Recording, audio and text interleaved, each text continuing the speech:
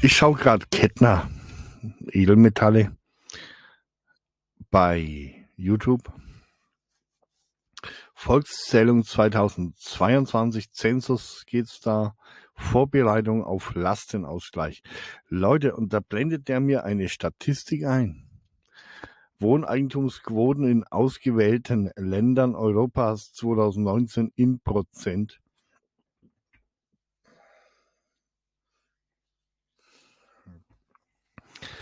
Jetzt haben 51 Prozent, 1 Eigenheim. Ich schaue an die Spitze der Statistik, führt Rumänien mit 95,8 Prozent haben die Eigenheim. Was machen denn die richtig? Polen 84,2 Prozent, Spanien 76,2 Prozent, sogar UK 65,2, Frankreich 65,1, Österreich ähnlich Deutschland 55,2. Der einzige schlechter dasteht mit Eigenheimen ist die Schweiz mit 42,5 Prozent. Also ich wundere mich da nicht. Ich war Hauseigentümer, ich war selbstständig, das ist eine Lebensaufgabe, seine Häuser zu halten. Und als Selbstständiger hast du keine Zeit für Weihnachten, manchmal auch nicht für Urlaub. Und du hast auch kein normales Wochenende, wenn die Umsatzzahlen einbrechen. Gedeih und Verderb, wenn da noch ein Haus, eine Frau und Kinder dranhängen, um Gottes Willen. Mich wundern die 10.000 Suizidalen nicht in Deutschland. Nein, sie wundern mich nicht. Warum? Weil das Herz fehlt. In der Familie hat man Herz. Im Netzwerk hat man Gelegenheit. In der Republik hast du gleiche Rechte der Inbürtigkeit. Alles drei geht auf. Zweimal ist eine Wahl, aber einmal ist fast kein Mal der Versuch, es länger erleben zu wollen. Ich habe da noch diese Spur eben jetzt gerne für euch aufgenommen. Kettner Edelmetalle, wir brauchen, brauchen wir einen Lastenausgleich. Die versuchen es jetzt mit Übergewinn zu definieren. Die Kriegsgewinnler, Twitter der Gregor Gysi, sollten auch besteuert werden in einer Form, dass überproportionale Gewinne vom Kriegsgewinn oder der Situation eines zivilisatorischen Entwickelns über den Maßen auf ein paar Personen oder Firmen, was vielen zustünde, ein Stück besser verteilt wird. Wir kommen auf der sozialen Marktwirtschaft. Wir haben dann für Asien aus die 1-Euro-Produkte den künstlichen Billiglohnsektor gegründet, Hartz IV können mir endlich, jetzt wo das stehen, bis Asien raus die 1-Euro-Produkte ja gibt, sogar Frankreich mit den Bedingungen nachzieht. Teilweise, wenn die Gelbwesten locker lassen, nicht, vielleicht nicht. Können wir endlich wieder zur sozialen Marktwirtschaft zurückkehren. Es gab damals nichts Neues, wie im Himmel. In Deutschland war es üblich, du hast dann Tausender gebraucht oder es waren dann bei Inflationszeiten 2000 Mark, 1000 Euro. Und dann kannst du ein bisschen was leisten. Ein Auto oder schön Hobbykeller. Selbst wenn es vom Sozialamt abhängig warst. Wir können doch diese Verschlechterungszustand nicht so sein lassen. Oder? Aber wir sind durch viel geritten. Jetzt schaue ich mal Kettner weiter, vielleicht fällt mir noch was ein. Zum Lastenausgleich.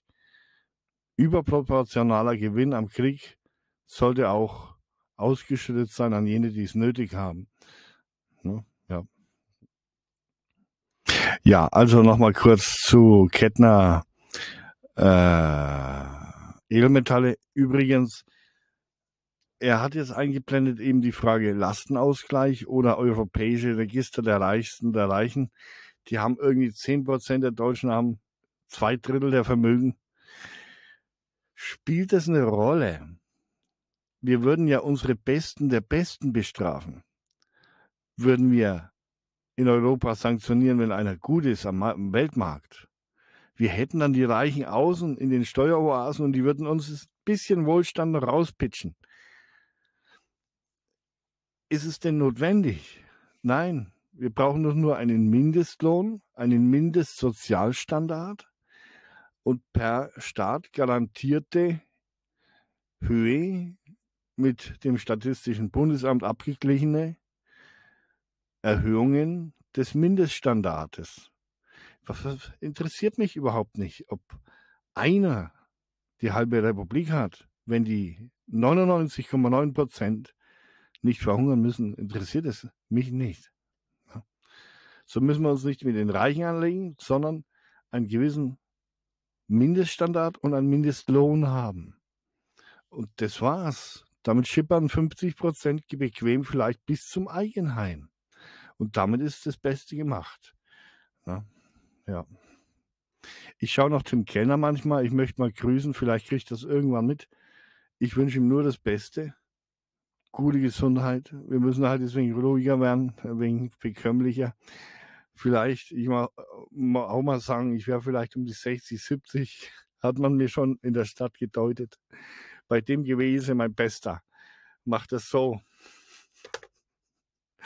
So ist üblich. 100. Aber das war, das war, das und das. Und dann haben wir noch Sechse. Aber mit 66 geht das Leben los. Machen wir das Beste draus. Ich bin nämlich so froh, dass wir die Zeit überstanden haben, was ich da sah. Geht auf keine Kuhhaut.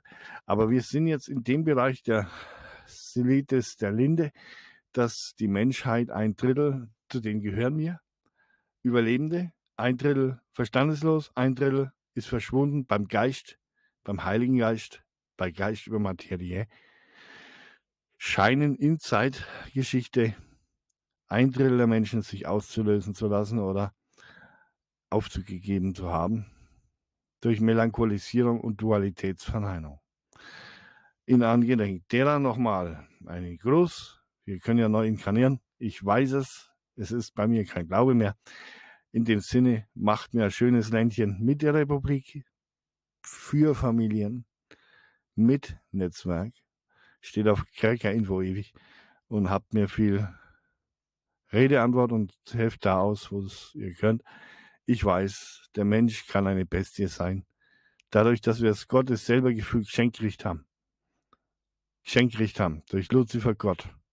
Ich weiß, dass es so war. Ist durchgechannelt worden das Gottes selber Gefühl.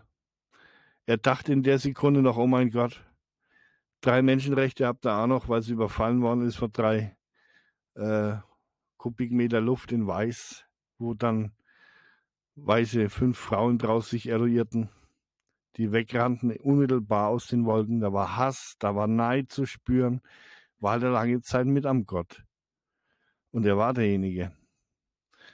Und Dadurch waren wir wie Bestien und mussten lernen, wie selber wie uns Gott fühlend zu befinden. Ja. Die Zeit ist aber vorbei. Mit oder ohne. Es geht voran. Mit oder ohne. Es geht voran. Bis dann.